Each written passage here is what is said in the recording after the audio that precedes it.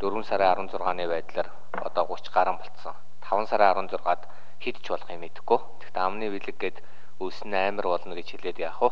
Гэхдээ өвчин бол бидний бодож байгаа шиг тэгн ингэнэ тооцох боломжгүй. 6 сарын 16 ч юу болох юм бэлээ гэж. Тэгэхээр би юу гэвэл Монгол улсын үндсэн хууль 5 сарын 25-нд хүчин төгөлдөр болох юм чинь 25-наас өмнө энэ сонгуулийн хуулинд өөрчлөлт оруулаач гэж би хүсээд байна. Яагаад вэ гэхээр одоо юу гэх юм бол а багада нэг 100-аас 400 хүний бол бөөгнөрөл бий болно. Яагаад вэ гэвэл нөгөө ухуулагчтай цуглуулад айл өрхүүдийн хаалганууд нь одоо уулзалт хийнгээд янз бүрийн байдлаар мянгаар нь 500-аар нь хүмүүс цуглуулна. Тэгэхээр энэ хуулийн чинь ач холбогдол юу болчихж байгаа юм бэ гэдэг чинь асуудал үүсээд байгаа байхгүй юу? Солонгосын одоо тэр сонгуулийн хуулийн журам юмыг харахаар Солонгосоос хууль яг энэ хүнд үедээ хуйгтэй сурчилгаа бол юмнуудаа бол хийжээсэн. Энийг бол анхаарч ясаа. Энийг нэгдүгээр анхаарч. Хоёрдугаарт нь хэдийгээр өвчтөе хүний эрүүл мэнд нууц байдаг учраас хин одоо өвдсөн байсан нь бол хэлэхгүй байж болно л доо. А гэхдээ 20 цэрэнд байгаа хүмүүсийн нэрсийг бас мэдмээр байгаа байхгүй. Яагаад вэ гэхээр та бүхэн мэдж байгаа одоо жишээлбэл энэ хиний одоо Францын нөхөр болвол гэртээ байгаараа гэж хэлсэн гадуур явсан 500 хүнтэй контактлагдсан аз болж юу гэх юм бол бид нэр одоо юу гэдгийг өөрсдийнхөө хэмжээнд одоо а бас та дархлаа сайтай байсан юм уу? Эсвэл бурхны авралаар юм уу? Маскны буюу юм уу? Ямар ч үйл гэсэн янз бүрийн асуудал үүсээгүй а гэтэл өнөөдөр 2 3 мянган хүн одоо карантинаас гарч байгаа. Гараад мэдээж одоо юу гэж хэлдэг вэ? Гэртээ байгаараа гэдэг. Байхгүй одоо гадуур их явдаг. Явж байгаа. Энэ тохиолдолд хариуцлагыг чангаруулах гэдэг юм уу? Хариуцлагын асуудлыг хуулийн дээр орсон уу гэдгийг бас асуумаар байна л да. Яагад вэ гэхээр одоо энэ улс төр эхэлсэн сонгуул эхэлсэн тохиолдолд одоо юн зүрийн газраар масаггүй, барьгүй, шорон гяндангаар хүртэл давхиж явж байгаа асуудлууд байгаа даа. Шорон гяндад чи өнөөдөр ямар эрсдэлтэй хүмүүс байдгүй. Дэлхий дээр юу гэж хэлж байгааг бол энэ бол 14 хоногийн дотор эсвэл 20 хоногийн дотор өвчин илрээг бол ирүүл гэж үзнэ гэсэн баталгаа нотлохоо байхгүй юм билээ супер текч гэж одоо жишээлбэл нэг ойлголт байгаа. Өөрөө яадагчгүй 1 сар, 3 сар, 4 сарын дараа илрээд бөө юм болдог. Солонгост бол тэр тарсан нөхрийг чи харах юм бол баг тим явж байгаа шүү дээ. Тэгэхээр иймэрхүү карантинд байгаа хүмүүсийг тодорхой хэмжээгээр бас нэг үүргэжүүлмээр байгаа байхгүй. За яг хаа одоо олон юу яхад олон нийтийн болон янз бүрийн ялах хүүхдүүдтэй уулзахгүй байх ч гэдэг юм уу. Энэ бол өвчтөө гэж байгаа биш. Тэгвэл өнөөдөр юу гэвэл бид иргэдийнхээ эрүүл мэндийг бодохгүй нэг алдчих юм бол 3 сая хүн чи амар шүү дээ. Та нар өнөөдөр мэдж сонгодоо entertainment интермед имлэг дээр шууган гарахтал хүмүүс ямар айцтай байна. Ямар санаа зовлттой байна. Энийг бол өнөөдөр бүр зориуд үүргэжүүлж өгөхгүй болвол ууз одоо 10 хонсон 20 онсон байгаагүй тестлээгүй би гоё байгаа. Наа яасан ч болно гэдэг. А гэтэл тэр хүний эрүүл мэндийг хинч мэдэхгүй штэ. Тийм учраас энэ хуулинд тодорхой уу одоо бас оруулж өгөөд энэ хяналтанд байгаа хүмүүсийг үүргэжүүлмээр байгаа юм л та.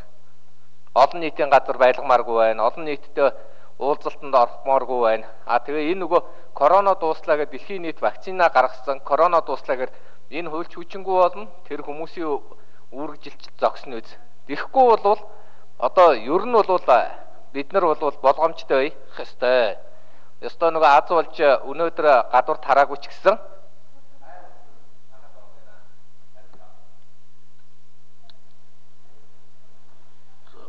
За Нямбатар асуултаа.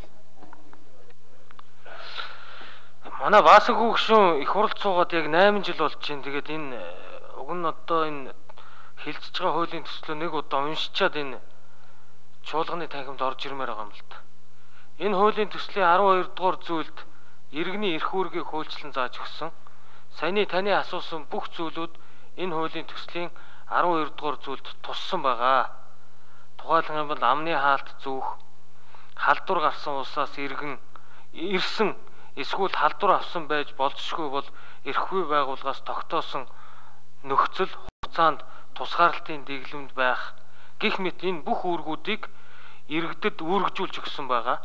Хэрв энэ үүргийг зөрчсөн тохиолдолд зөрчлийн тухай хууль болон эрүүгийн тухай хуулиар хариуцлага хүлээлгэхээр дээрх хоёр хуульд хуулийн төсөлд нэмэлт өөрчлөлт тусгаад хамт өргөн мэдүүлсэн гэдгийг нэгдүгээрт хэлье. Хоёрдугаарт Монгол улсын үндсэн хуульд оруулсан нэмэлт өөрчлөлт 2019 оны 11-р сарын 14-ний өдөр баха тий батлагдсан. Тэгээ энэ батлагдсан үндсэн хууль хэрэгжиж эхлэхээс 20 хоногийн өмнө өөрчлөё гэдэг ийм зохицуулт байж болохгүй хаа.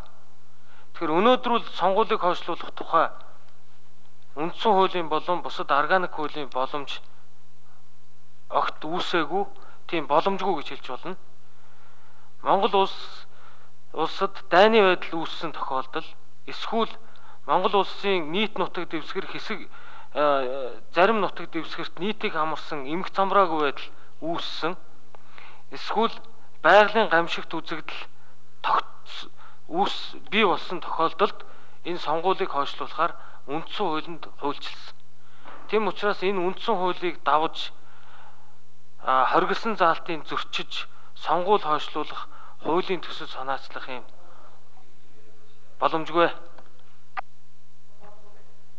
За 1 минут тодруулъя бас хөгшин. Би сонгуул хойшлуулах тухай нэг ч юм яриаггүй шүү дээ. Сонгуулийн хуулийг сайжруулах тухай яриад байна. Хойшлооч гэж огт хэлээгүй. Битгий үг мушгаач. А хоёрдугаарт нь би бас дахиад юу гэж хэлж байгааг бол 14 21 хоног гэдэг тэр журмыг дунд нь зөрчсөн тухай би яриаггүй дээ. Журмын хүрээнд байсан ч гэсэн цаашаа хичнээн байгаа тэр хувь хүний хариуцлагажуулах асуудлыг энд оруулж өгснө гэж яриад дээ.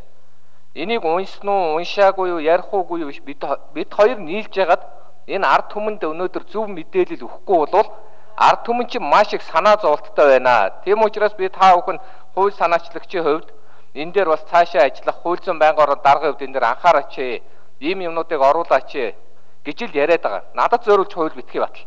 Тэгэхээр ийм зүйлийг л хоёр зүйл дээр би хүсэл тавиад байна л та.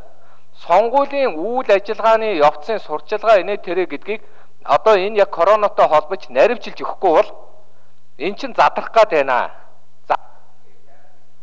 Тэрний журмаар зохицуулсан юм байлаа сонгос. Тэр саналаа баасан хөгшин бичээдэг. За Бадмааны мөгийн Батэрдэн гişүн асуулт асууна. Аа баярлалаа.